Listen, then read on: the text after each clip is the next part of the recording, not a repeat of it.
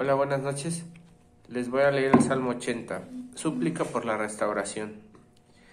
Pastor de Israel, escucha, tú que guías a José como a una oveja y que estás entre los querubines, manifiéstate.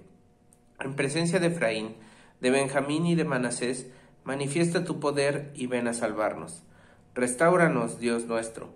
Haz resplandecer tu rostro y seremos salvados.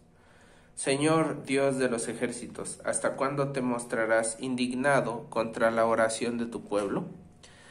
Nos has dado de comer lágrimas en vez de pan, nos has hecho beber lágrimas en abundancia, nos has puesto en ridículo ante nuestros vecinos, nuestros enemigos se burlan de nosotros.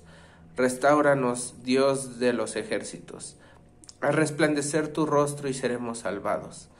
Desde Egipto trajiste una vid, expulsaste a las naciones y la plantaste, limpiaste el terreno de delante de ella, hiciste que echaran raíces, y ésta llenó la tierra.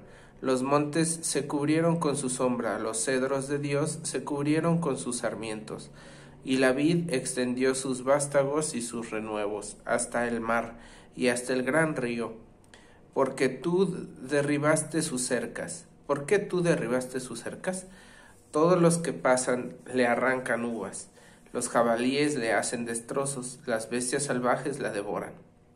Dios de los ejércitos, vuélvete a nosotros.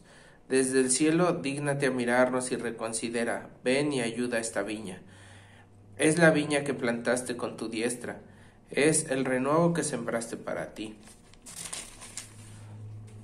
La han cortado, le han prendido fuego. Déjate ver y repréndelos para que perezcan. Pero posa tu mano sobre tu hombre elegido, sobre el hombre al que has dado tu poder. Así no nos apartaremos de ti, tú nos darás vida, y nosotros invocaremos tu nombre. Señor Dios de los ejércitos, restauranos, haz resplandecer tu rostro y seremos salvados. Que Dios los bendiga.